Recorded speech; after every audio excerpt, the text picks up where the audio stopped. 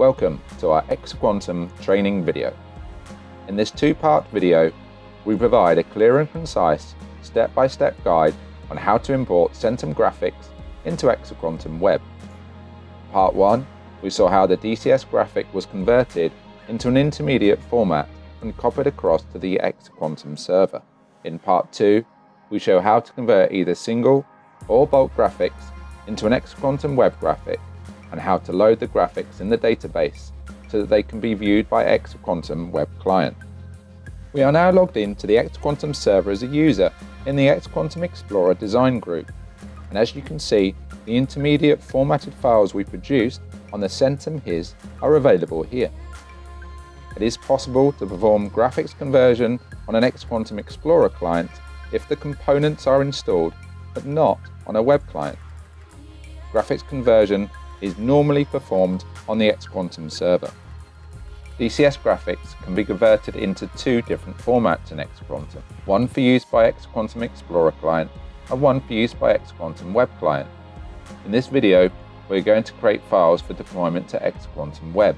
Importing graphics into Exaquantum Explorer will be covered in a video discussing the use of the Exaquantum Graphical Framework application. There are also two different types of graphic conversion individual conversion and bulk conversion. In this video, we will look at both types. Let us first consider converting a single DCS graphic. We are again going to use the distillation column graphic as the example. The aim is to have a graphic that can be viewed in Exaquantum Web. So to begin with, I need to open the Exaquantum Graphics Editor from the Start menu. Once loaded, to start the conversion, I use the Import option from the File menu. This presents me with another menu which contains three options. The Import Explorer document allows conversion of a graphic created using Exaquantum Explorer to be converted into an Exaquantum web graphic. The Import HIS Graphic option would be used to directly import a graphic from a Centum 3000 HIS station. This requires network and security access to the engineering workstation of the DCS. And import SVG file which will convert the intermediate SVG format we create on the HIS into the internal Exaquantum graphic format known as PXG. So I select the Import SVG option, which opens up another dialog.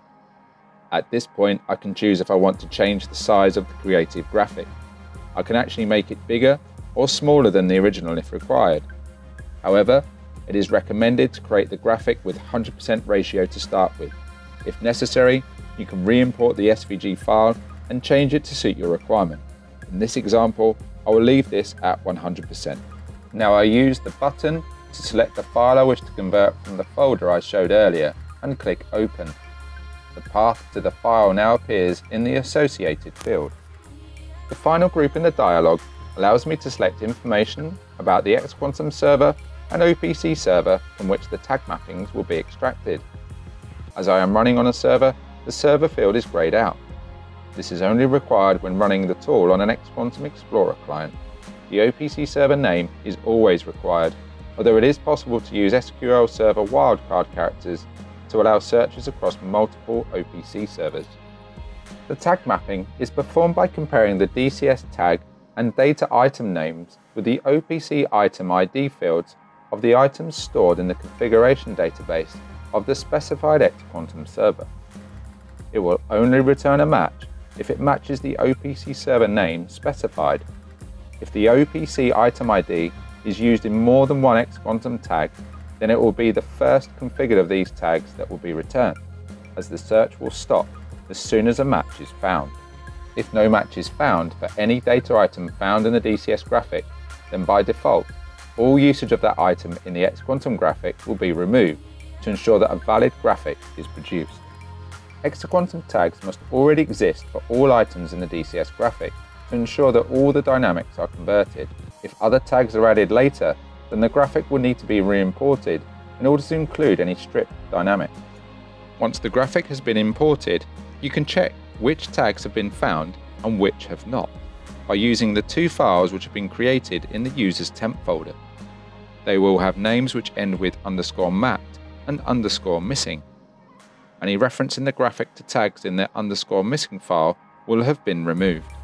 The simplest way to access the temp folder is to start Windows File Explorer and enter percentage temp percentage in the path field at the top of the dialog and press enter.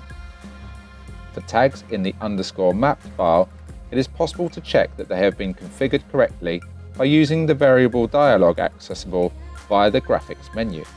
All the locations where a tag is used can be seen using the two dependency options. The Show Document Dependency option will highlight where a variable is used in the document itself, and the Dependency option will display a dependency dialog which will show you all the objects where the selected variable or variables are used. The contents of this dialog can be printed for checking or for documentation purposes. If you are happy with the results, you can save this as an Exaquantum graphic or PXG file, which could then be loaded and edited without the need for rerunning the conversion. However, before we can use the file in Exaquantum Web, we need to convert this back into the final SVG format. This is done using the Save as Web Page option from the File menu or clicking the Save as Web Page icon on the toolbar. So that is how to convert a single DCS graphic. However, before we look at loading the converted Exaquantum web page so that it can be viewed from an Exaquantum web client, let us consider the situation where there are a large number of graphics that need to be converted. For this, we need to use a tool known as the Bulk Graphics Conversion Tool. This tool is one of the many developer tools supplied with Exaquantum. These tools need to be launched from the Windows File Explorer. The Bulk Graphic Conversion tool can be found in a subfolder of the Developer Tools folder under where the Exaquantum software was installed. By default, this is located in the C drive under the Program Files. Using Windows File Explorer, navigate to this folder and double-click on the application, indicated by the light blue square icon. The first group at the top of the file is similar to the fields of the single file conversion details. We use the HIS 0162 OPC server and 100% resize ratio. The middle group is similar to the DCS graphic conversion tool. In this case, I'm going to select the folder I used earlier. The last group of the dialog selects which output format or formats to use and the location where the resultant files are to be placed. Finally, click on the Convert button to commence the conversion process. Once this is complete, you can view the logs which can be accessed by clicking on the View Log button.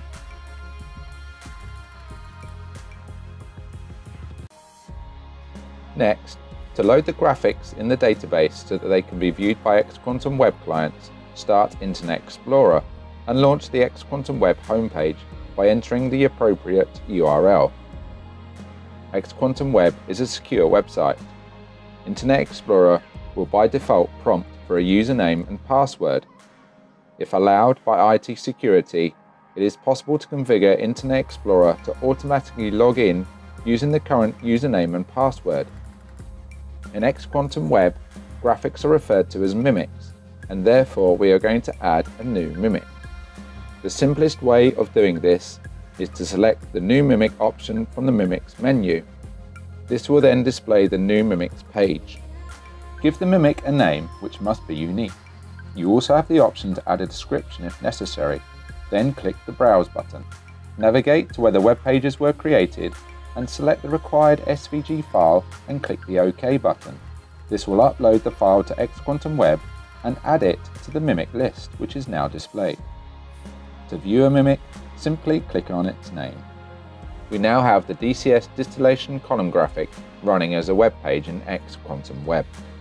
This concludes part 2 of the video showing how to convert either single or bulk graphics into an Exaquantum web graphic and how to load the graphics in the database so that they can be viewed by Exaquantum web clients.